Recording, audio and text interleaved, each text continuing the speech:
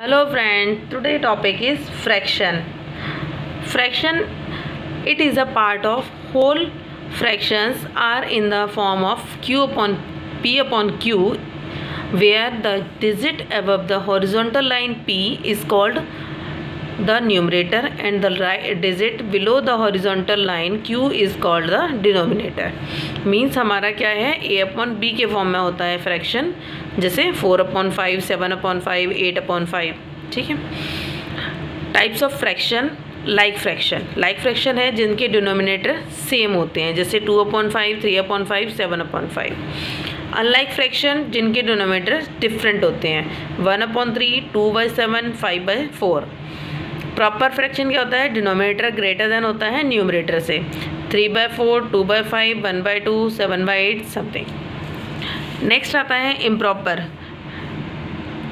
numerator greater than denominator three by two six by five eleven by seven five by three ten by nine mix fraction combination of whole numbers and a proper fraction जैसे one three by four one one by two और वो किसमें change होता है हमेशा? Improper में. कैसे? One multiply four plus three divided by four तो ये क्या हो गया? फोर वन जा four plus three seven by four तो ये क्या हो गया? Improper fraction unit fraction numerator is always one मतलब न्यूमरेटर वन होगा. यूनिट फ्रैक्शन में one by five one by seven one by eight one by nineteen addition of fraction one A by B plus C by D C by B is equal to अगर denominator same है तो A plus C by B अगर denominator different है मतलब A upon B plus C upon D is equal to denominator का multiplication B into D और ये क्या हो जाएगा? A D plus B C subtraction of fraction A upon B minus C upon B अगर denominator equal है तो A minus C upon B अगर अगर डिनोमीटर डिफरेंट है तो क्या हो जाएगा?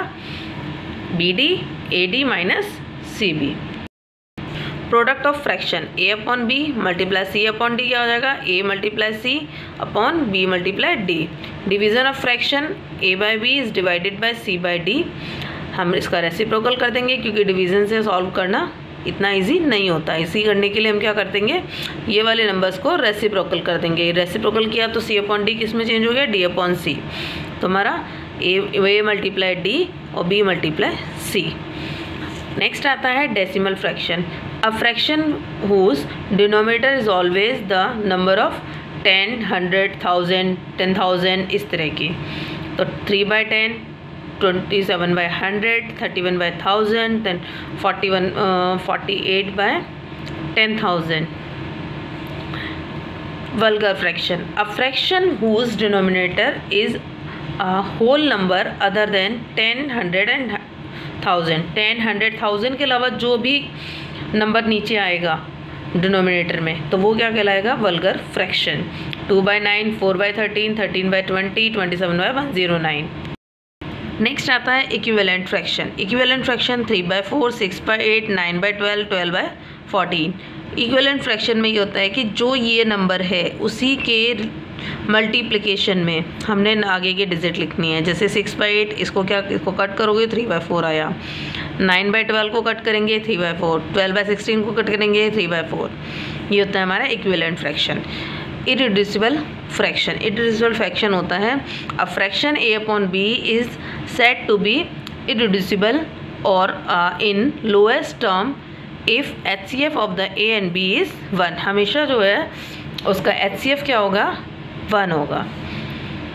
Comparing fraction A upon B is greater than C upon D तो A D is greater than B C A upon B is equal to C upon D A D is equal to B C a upon b is less than c upon d. so ad is less than bc thank you. Please like share and subscribe